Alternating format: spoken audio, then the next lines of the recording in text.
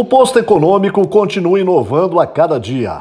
Além de um combustível de muita qualidade, com a bandeira Rio Branco, recente inaugurou a loja de conveniência Sonego.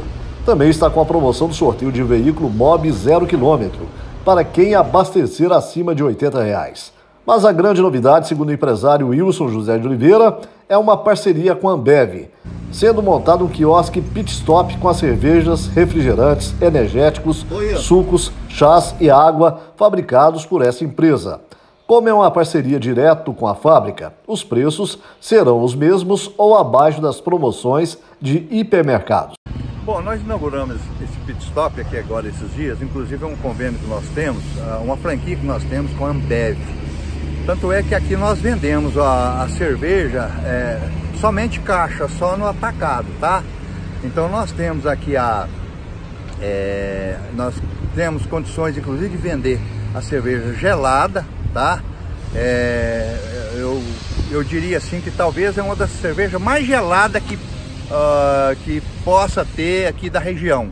É uma cerveja bastante é, é, é, assim, no grau, do jeito que o pessoal gosta, só que aqui nós vendemos mais no atacado para o preço sair bem em conta, talvez uns preços melhor que, que vocês vão encontrar, melhor que supermercado, enfim, aonde eles estão fazendo as promoções. Que aquelas promoções que eles fazem lá, nós fazemos aqui também.